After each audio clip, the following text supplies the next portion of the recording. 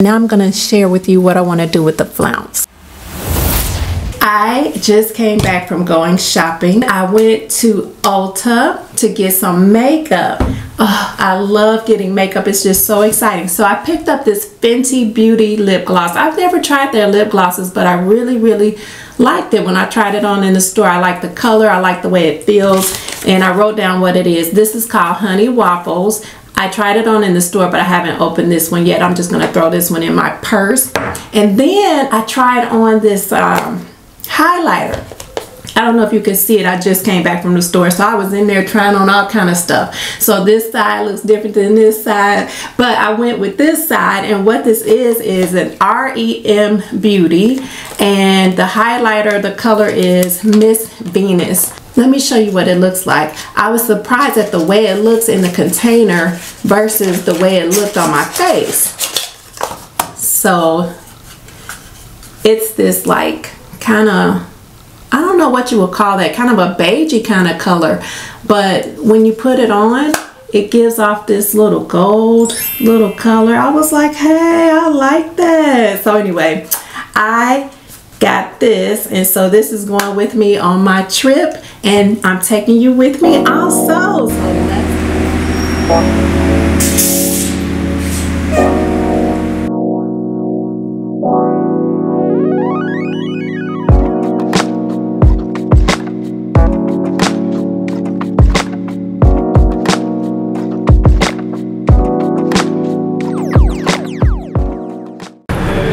have arrived and we are picking up our rental car, which is going to be in D15. D15, there it is, there it is. Oh my goodness, look at this. This is our rental. This is gonna be so fun. So cool. I'm excited. Hey now.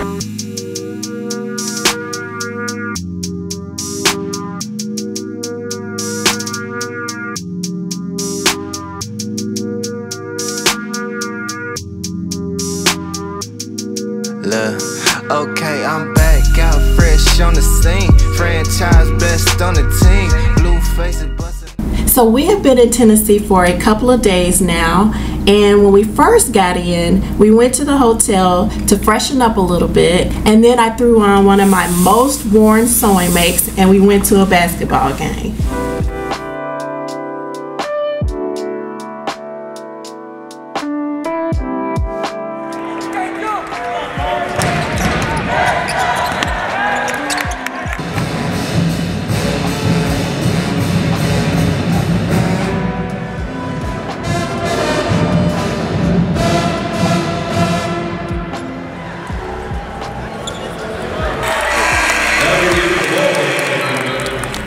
Game was a lot of fun. There weren't that many people there. I thought it was going to be a lot more packed because the game was on a Saturday, but it was still a nice, comfortable crowd, and we were able to sit wherever we wanted to. So that part was really nice. So before I took this trip here, I made a top.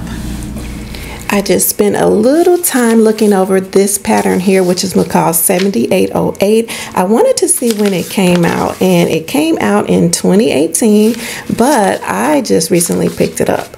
So I want to make this view here that the model is wearing, and she's wearing view C which is this here. And I really like how the sleeves are different. There is a flounce in the front. All the views in the back have an opening at the top that is finished with a hook and eye. There are seven pieces that are needed for view C and I will be using this denim fabric.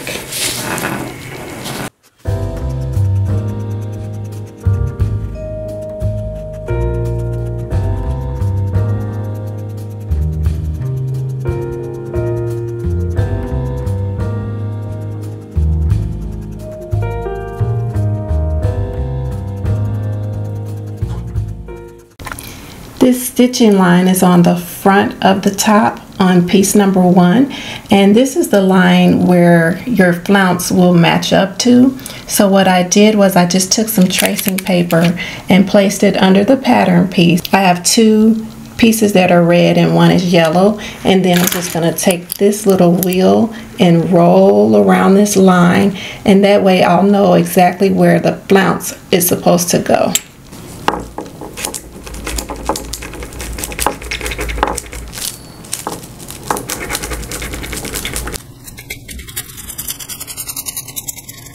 Okay, so here's how the line turned out. There's the red portion down to the yellow portion. And now I'm ready to go ahead and start sewing. So I interfaced all the pieces that needed to be interfaced. And this pattern is rated as easy. So hopefully it won't take too long to have this all done. I put the neck facing together and attached it to the top. And now I'm gonna go along and do some understitching. There is a dot on the back piece, so you sew from the dot down to the bottom to the hem area. And then you'll have this opening here at the neck edge. And you fold the opening over 5 eighths of an inch, so you could do it once or twice. And then you'll stitch from here over and then up to this side. And then that way, when you're all done and you have this facing folded down, it'll be a nice clean finish here at the top. The directions don't mention anything about finishing this top edge of the flounce. So I imagine, or I guess you're supposed to just lay it on top of your front piece and then just stitch it down. If I sew the flounce down the way that the pattern is suggesting, this is the flounce for example, and this is the top, then I will have this raw edge out and exposed. So I think I want to do something different. I sewed the side seams down, I put on one sleeve, and now I'm going to share with you what I want to do with the flounce. So I took some wash away tape and I placed it along the placement line for the flounce. And this is the line that I made in red and yellow on the front of the top. Now what I'm going to do is I'm going to take the flounce. So there is a square here and then there's a square there. So I will line up the squares and then I'm going to place the flounce on top of the tape and stick it down. I'm going to stick it down all the way from here all the way down and then I will put this under the presser foot and just stitch it down.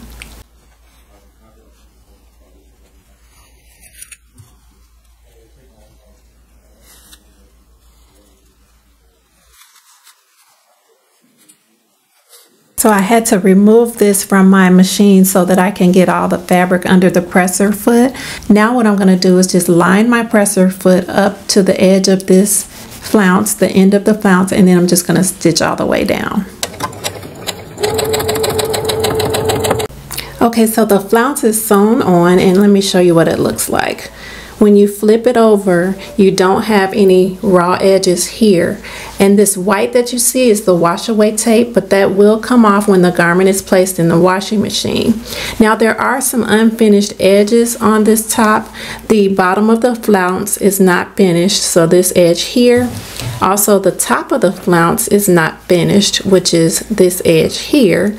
And then the one sleeve that is also a flounce is not finished. So now I'm at the point where I will be putting on this sleeve here and I am going to use this quilted denim that I had left over from another project. All right, so I did sew the sleeve onto the top and this was long. This was a long piece and then you folded it in half with wrong sides together. So that was how you got this. So this is folded together and then it said to slip stitch the edge closed but this fabric is so thick I knew I wouldn't be able to do that. So I just stuck this under the sewing machine stitched it down then I finished it off with the serger. So this is the finished look.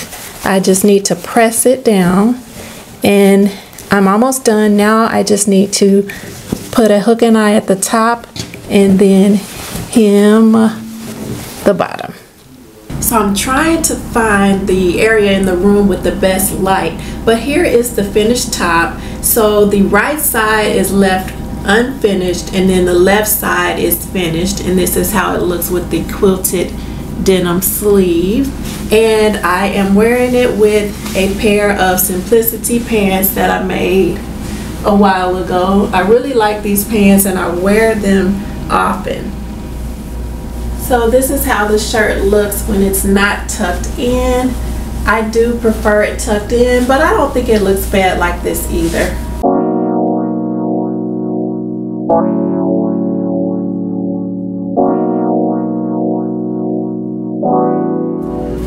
So before I go, I want to leave you with a love share. So I recently purchased these bags on Amazon and they're called compression bags and they're really great for travel. So I put like three of these in my luggage this time around. So what you do is you fill it up with items. So I filled mine up with clothes and oh, I asked them to come and fix the air or the heat. Hell, here they are. Hold on. Hi. How are you go. I have been freezing. Does it feel colder here to you? Uh. The guy who was fixing the heater, he was so funny. He was like, You're gonna burn up now. so, anyway, I was saying that I fill these bags up. I have three of them and I put clothes in mine. And then after you fill the bags up, you roll them down you roll the bag up like this and then it will start to compress and then you can get more items in your luggage so this was my first time trying these out and I'm really happy with them. I just noticed that I can't fill them up too high because then it makes it harder to roll everything. It takes a lot of strength to get everything to roll down.